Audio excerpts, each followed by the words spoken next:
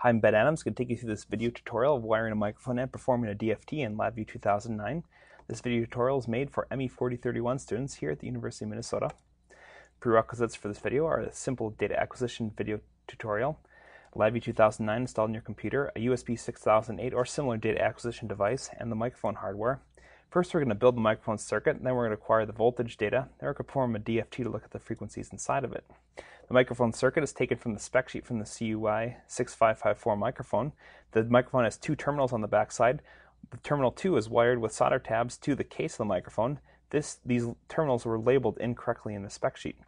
In addition, we'll need a 1, 1 kilo ohm resistor and a 1 microfarad capacitor to complete the microphone circuit.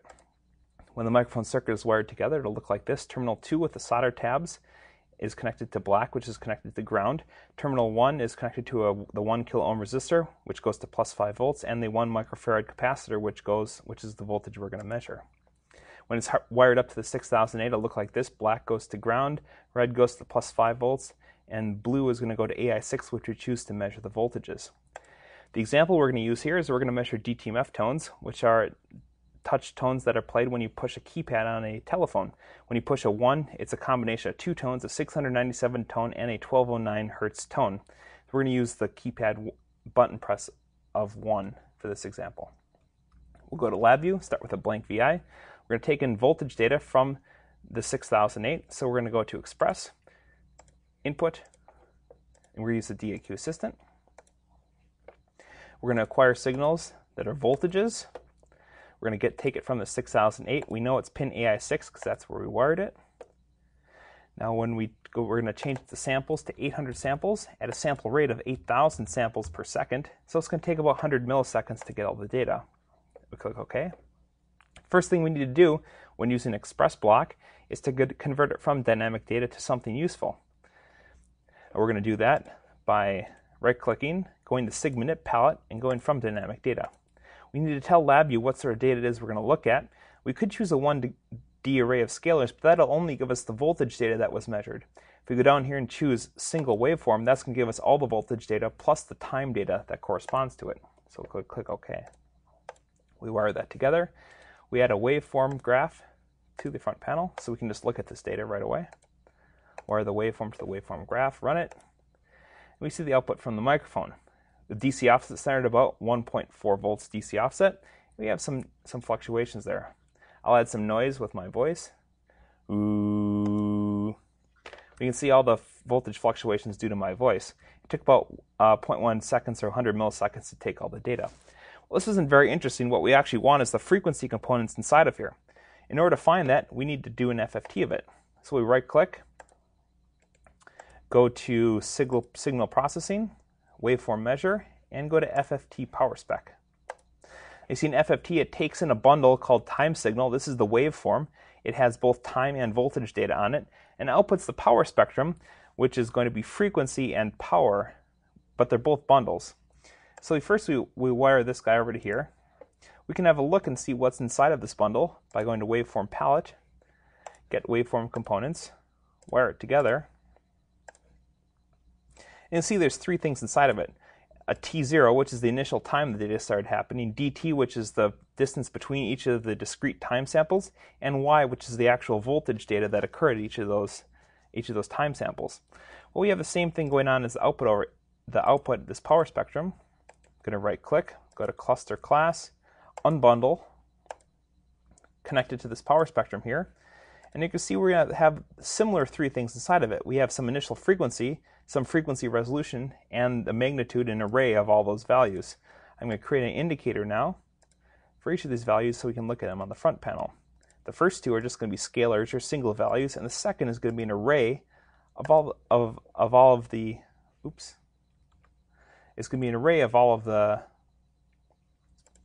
the voltage uh, the, the the powers for each of the frequencies. You see this is an array. I'm going to drag it down so we can just have a look inside of it later.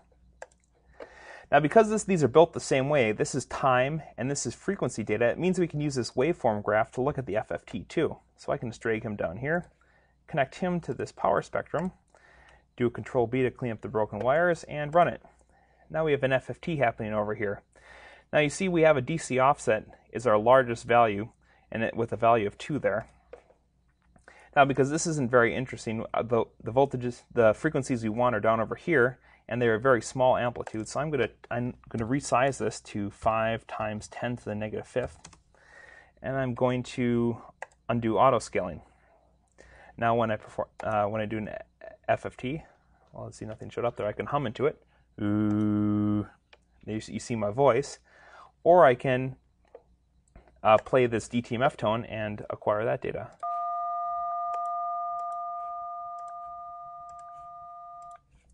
Now you see the DTMF tone has two frequency components in it. That's 700 hertz. Remember, 700 hertz and a 1200 hertz tone.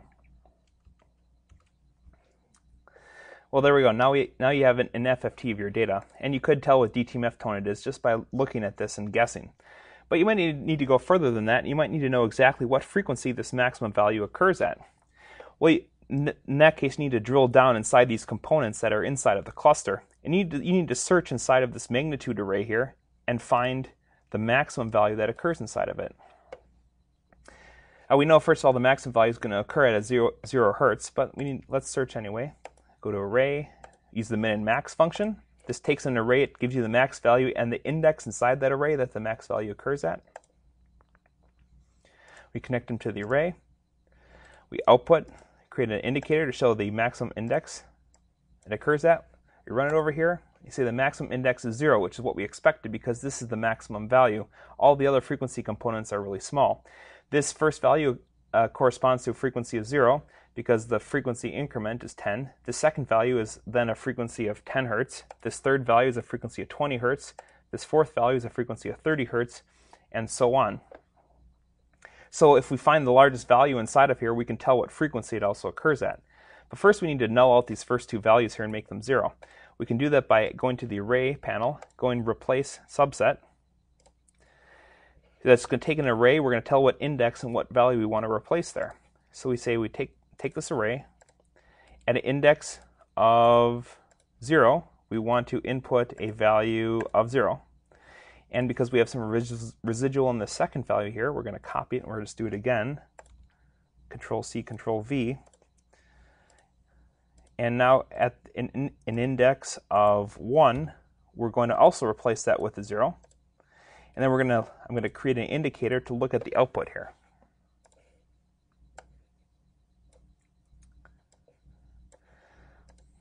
I'm going to expand it so we can look inside of it. I'm going to run it. And this new array now is exactly this array up here, except these first two values are now 0. So when we do this min, min max, when we find the min max now of this array, we're going to find the min max of these values. So we find the maximum value occurs at an index of 237. Because df is 10, that means it's a maximum value of 2,370 hertz. To make it a little more transparent, we can just multiply over here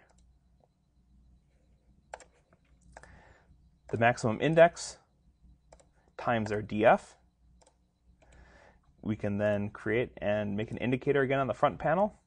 So this is the maximum value excluding the DC offset that's occurring in the signal. So if I play a DTMF tone again, collect the data, we see then it's saying the maximum value occurs at 700, which is correct, and the, the second value is around 1200. It's a little smaller. So to find that, we'd have to null out these values and then research again to find the smaller value here. Now, because DF is, is 10 hertz, this comes from the sample frequency and the number of samples that we took in the DAQ assistant here. Remember, we sampled at 8,000 hertz. Now, if the Nyquist criterion says this value can only be 4,000. We, we can only find a value that's half of the sample rate. And also, we took 800 data points, which means the FFT is going to have 400 data points. So we have 400 data points spread out between 0 and 4,000 hertz. So the increment between each of the data points is 10 hertz, df of 10. To reduce df of 10, we can either decrease the, maximum sample frequency, or we can increase the number of data points. So our value here is 700 plus or minus 5 hertz. So to find it, find this more accurately, you'd need to decrease this df here. Other resources available to you, the CUI datasheet available online. DTMF is from Wikipedia, and DigiKey Electronics has all their spec sheets available for you online. Good luck!